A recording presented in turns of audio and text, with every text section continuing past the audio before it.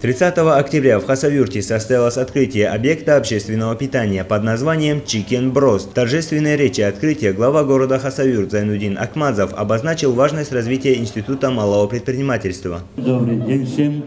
Как уже было сказано, в нашем городе открывается новый объект, коммерческий объект.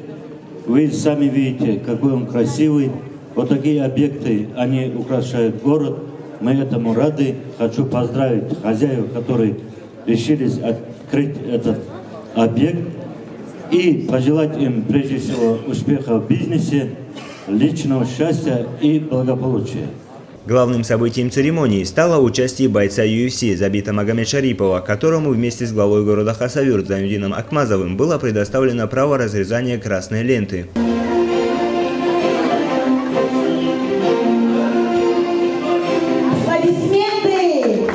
Для гостей празднества была представлена концертная программа в исполнении вокального ансамбля «Хрустальные звездочки» Дворца культуры «Спартак» и зажигательной лезгинки воспитанников ансамбля «Эхо гор».